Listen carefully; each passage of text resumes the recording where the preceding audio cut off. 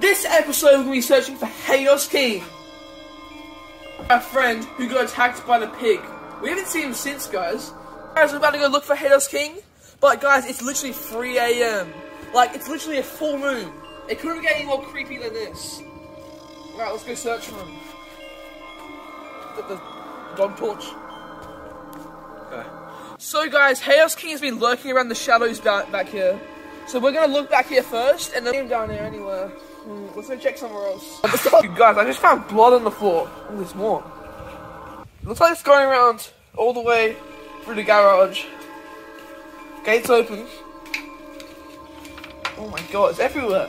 Dude, it's everywhere. Oh! No, I should try invest I'm gonna investigate this. Dude, the Among Us potion. Oh. I swear I just saw someone from there. Let's go check him on the other side. Oh my god, I, am Oh! No!